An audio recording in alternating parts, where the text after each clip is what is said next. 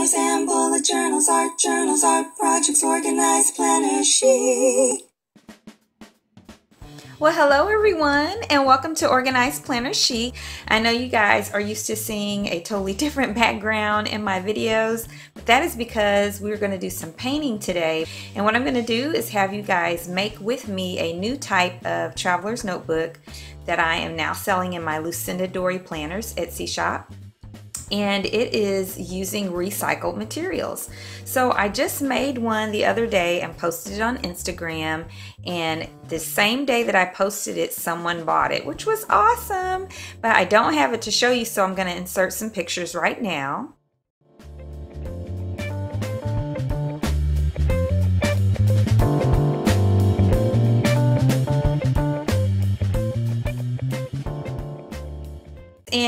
What we're going to do is I'm going to show you kind of some different, you know, things that you can use if you ever want to make these. So this, the one that you guys just saw in the pictures was made out of a washing soda box, which is kind of like a baking soda box, but um, it's it's Arm & Hammer sells it. And so I always have boxes like that.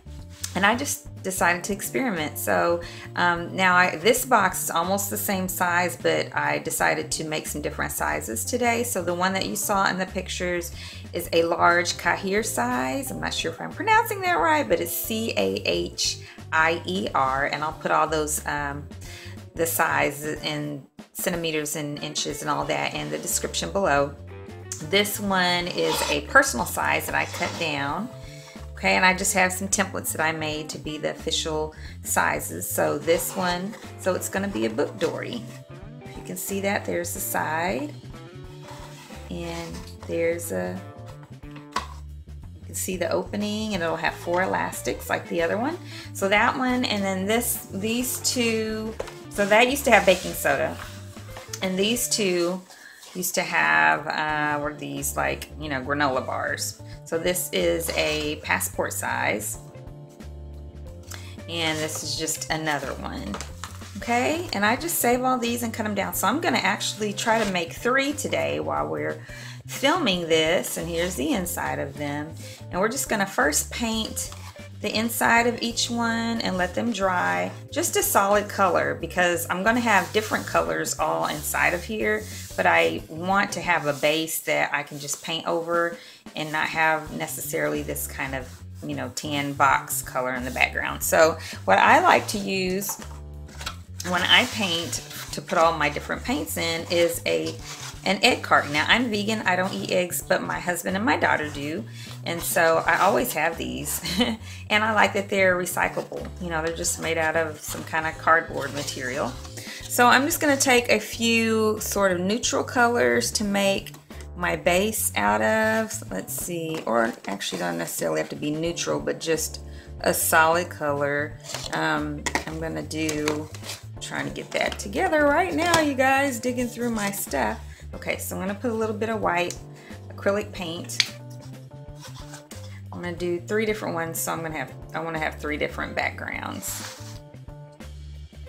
Okay, that's probably enough. And I think I wanna make, do I wanna make one black? I don't know, I'm trying to decide. I definitely wanna do, I think a blue, dark blue.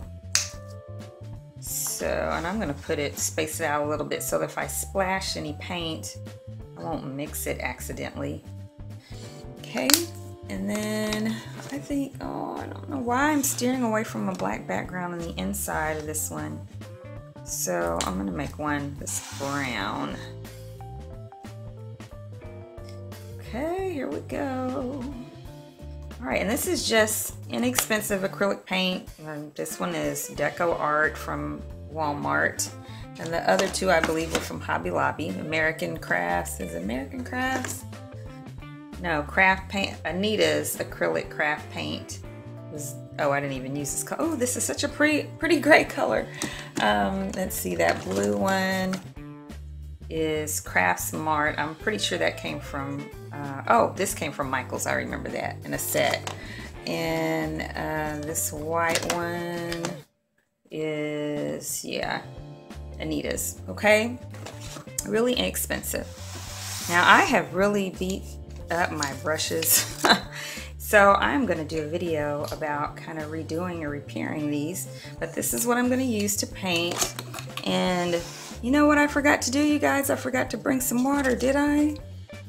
No, I didn't. Awesome, I don't have to get up right now. okay, so we're gonna start with this one. And we'll just make this one the white. Since it's kind of a lighter color, it'll be easier to cover. And I'm not worried about this being a perfect coverage. I just want it to not look completely like a cardboard box, that's all. Okay, and what I have on the table here is just some old fabric I bought like at a garage sale years ago. I mean, probably 20 years ago.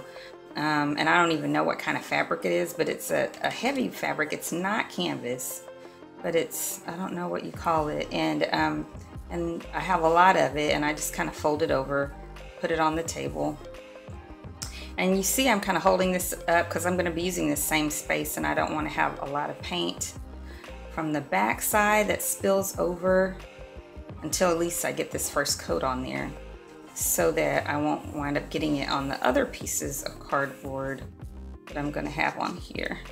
Again, I'm not worried about it being a perfect coverage, just some coverage so that, you know, I can have a neutral background that I actually like so that whenever I put the other colors, the other products that I'm going to put on here on there, they will show up as the colors that they actually are. I hope that makes sense. Okay. And then I'm going to just speed this up while I finish do this and I may just go ahead and paint the rest of them off camera. Actually, you guys are probably bored of watching me do the same, same strokes over and over, so I'm going to finish this off camera and then I will be right back. Okay, you guys, I'm back and I did decide to go ahead and put two coats of paint on each one of these. I don't know why, it just seemed just seemed right so I did so they all have two coats and now we're going to get ready to pick some water soluble pastels to do some artwork on them and this is just what I used to store mine in. This used to be a can of nuts and oh, it doesn't even look good on the back. I won't show you. And I just took some duct tape and kind of covered it. And there's a little rag in there to keep these raised so I can see what's in there. Now some of them are, um, they look dark on here. You know, they just look dark, but then when you color them, they're a totally different color. So what I try to do, I'm gonna use this paper and just tell myself what color it is that I think it is before I use it. So on this one, I want to do, and I'm just gonna, I'm afraid to tell you what I want to try to do because it may not turn out right. But um, I know I want like a light blue kind of sky background in the back. So I'm going to see now that color is nice, but I think I want it to be a little bit, hope you guys can see that. Let me move this, all of this out the way focus on what I'm trying to do right now. Okay, so this is a nice color blue. I think I might want it to be a little bit lighter, but I don't know if I have a pastel that is, I'm just pushing this up, that is um, lighter. Let's see if I do a lighter blue. Take some out so I can look through it and see. And come on, come on, come on. I just, I thought I had, maybe I didn't have a lighter one. I just had a, some darker ones. That might be the lightest blue. Oh no, I do. It's right here. Now let's see. Is that too light? Nope, that is exactly what I want. Okay, I'm just going to push this up a little bit. Okay, so that's a great way to figure out what colors you got. And I'm going to try to get the rest of this out of the frame so that we won't be just oh just lost one. So we won't be distracted about by all this other stuff going on. Okay. So now I'm to show you how these work which is really awesome. Um, you're to color get in the center of my frame Going to color and then you can just use water and or your finger or brush. I like to use my fingers. I don't know, they just tend to work like I want them to.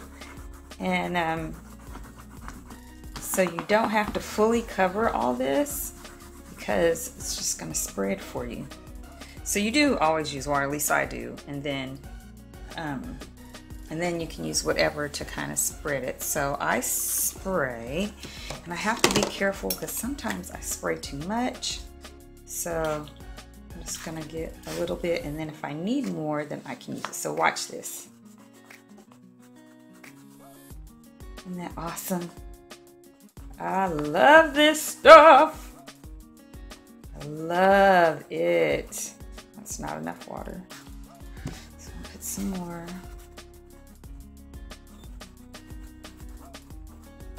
I like how this turns out, you guys. I, li I like that I'm like painting with my fingers. And I like the variation in color because this is actually going to be sort of a sky background, hopefully. If everything turns out the way that I want, which, you know, nothing ever turns out completely like you want, but just want it to be close enough. Oh, so relaxing and sort of billowing. See if you do a little bit of circle action and it dries fast. So sort of looks like some, a bit, uh, I don't know, billowing cloud, more of a billowing sky.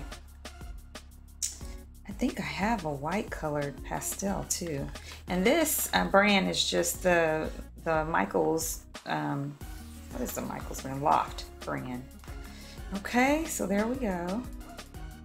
All right, and that's gonna dry, but I don't have to wait for it to dry right now. So that's like my sky. And then I want some grass, but I want the grass to kind of look spiky. So I'm gonna use a green. Do I want light green grass and dark green stems for the flowers I'm gonna do? I think so. So let's see what colors these turn out to be. So that's a pretty dark green. Put that over to the side, but it's not dark dark. So I do not want to use this green at all for what I'm doing. I may not have a light enough green. Let's see if I do in here. Yes, I do. Just look, Lucinda. Just look and you may find what you're looking for. Okay, this is what I want. So, and you know what I need to do, which, you know, smart person would do. Not that I'm not smart, I'm not. doubting myself. If I had been smart about it, we'll put it that way, I would have, I think I'll do a video about that. I'll have some samples, you know, uh, something that I keep that shows me what each color is. But the sad thing about that is there's no number on these. I guess I'd have to number. There's no name or number, so I don't, I don't know how I would know. Maybe I can put a little sticker label. Yeah, I'll do that. Okay, so that's the dark green. Let's move you out the way. So this is gonna be my grass that I want. So I think, now I've never done what I'm getting ready to try to do, but I think what I'm gonna do when I put the water in is just to make sure that I do up, because I want the grass to kind of go this way. Make sure that I do like upward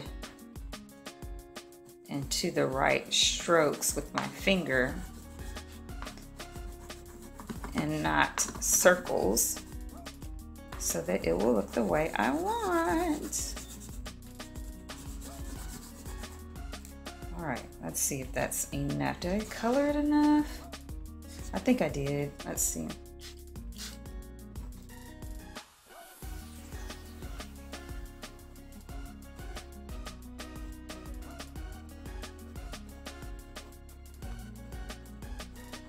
Yeah, maybe not put too much water on it. Maybe that'll make it look like I want. Yeah, because I think I still want there to be that really good definition. Okay. Oh, you guys have got to do this if you've never worked with, but I think just about everybody probably has worked with pastels at some point in their lives, like in um, art school, art class in school. You know, something like this. There's pastels and gelatos. maybe not everyone has worked with oil pastels, which I have, but I haven't really used them much because I just love these. Yes, we go, here we go. Oh, that's a little too much water. It's looking not the way I want. Okay, that's better. A little bit of water here.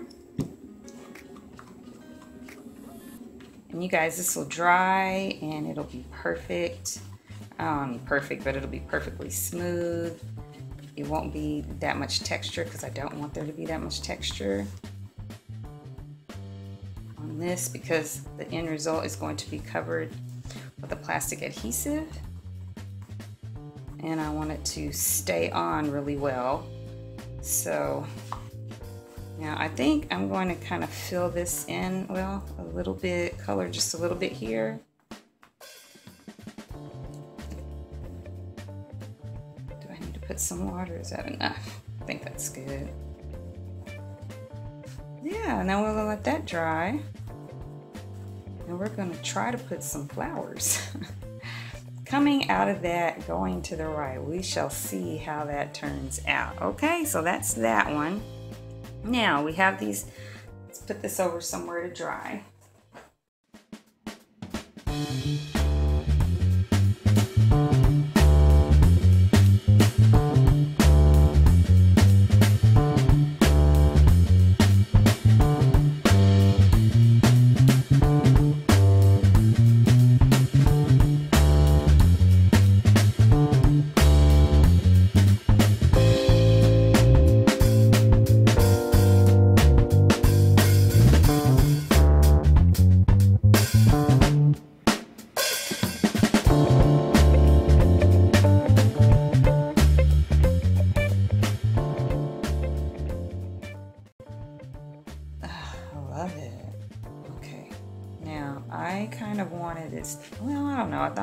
Wanted it to blend a little more, or did I want it to stand out as separate stuff more? I think I'm gonna leave it. I think let's see how it looks when it's completely, completely dry. Okay.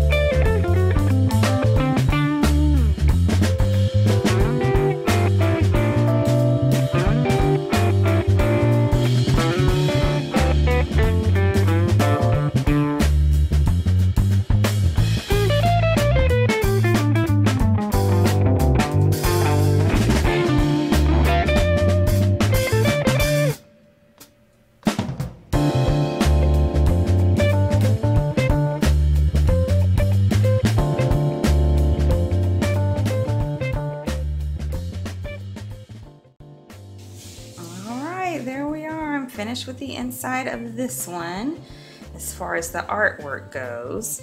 Okay, and now let's go ahead and we'll check and see if the other ones are dry and then we'll be finished with the inside and so we still have the outside to do. Okay, let's get ready for that.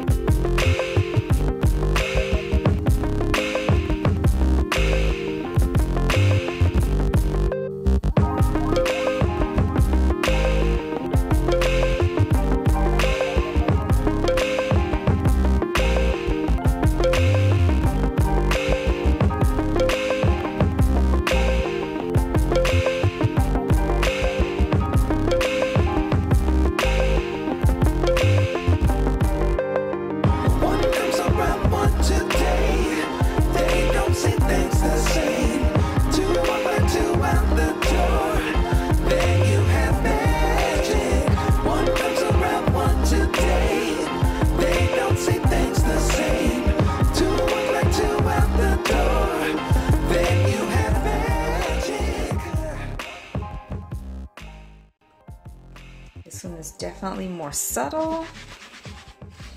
And I want it to have a little bit more life. So I'm gonna go back over this one once it's dry. Okay, all right, let's get eh, let everything dry and then we'll come back and we'll see. All right.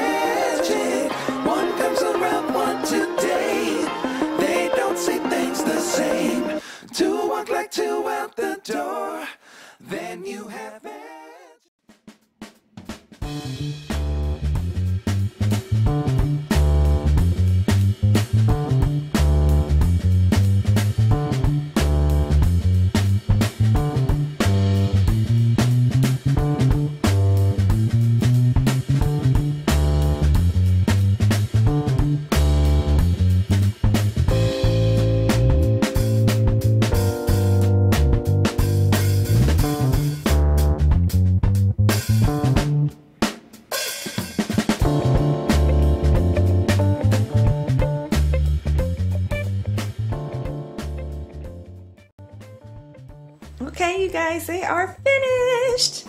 I'm so glad. So I'm going to show them to you uh, one at a time. I'll go ahead and open the, um, which one? I'll do this one first. Um, this passport size one. So there you can see the front and I just love how the adhesive, how the uh, adhesive reacts to the art, to the the paint and the pastels and all of that. You just never know how it's going to, and it is just awesome. So there's the front of this one, and here's the spine. It's um, I don't know why it looks a little dark right now. I hope the color's turning out okay. Um, and then here's the back of that one. Okay, and then in the inside are the four elastics. Okay, and you can see how the uh, plastic reacted to the art in there. Nice. Okay, and that can be the top or the bottom like we had before because you know there's no flower or anything like that that has to stand up a certain way. There it looks like the lighting is a little better. Okay. All right so that's that one and then here is the bigger one, which is the personal size. So here's the front. Okay, and oh, I didn't mean to do that. Let me put that back. Right now, I'll open it up in a second. So here's the spine. Okay, and there's the back, which I really like this back a lot. Okay, and then and the inside. Here we go. And there you go. All right, so there's that one. And now let's go to the last one, the last passport size. So there's the front. Okay. And the spine. And the back. Here's the inside. And there you go. All right, you guys. Well, I hope you enjoyed today's video. I know it was pretty long, so thank you if you if you hung in there with me. And uh, if you like this video, please give it a thumbs up and subscribe if you haven't already. And I want to remind all my subscribers that you get an additional discount every month is available for my Lucindadori Planners Etsy shop. And that discount is in the comments below. And these are up in the shop now for you guys. And um, until next time, everyone, happy planning.